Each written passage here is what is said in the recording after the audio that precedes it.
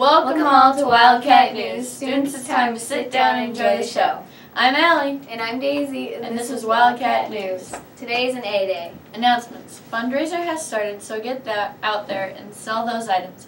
Each item you sell, you will win prizes as well and make money for the school. On September 22nd and 23rd, conferences will be held. Get ready. Happy birthday, Valerie Rodriguez. Lunch menu chicken patty on a bun, black bean salsa with chips, peas, fresh pineapple, and milk. Quote of the day. It is not the voice that commands the story. It is the ear. Italiano. And now for the Pledge of Allegiance.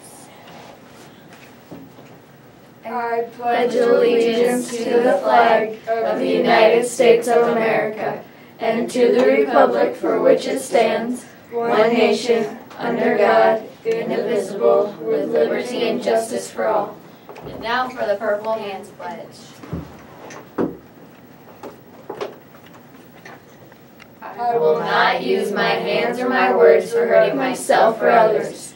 Thank you and have a great day from Wildcat News.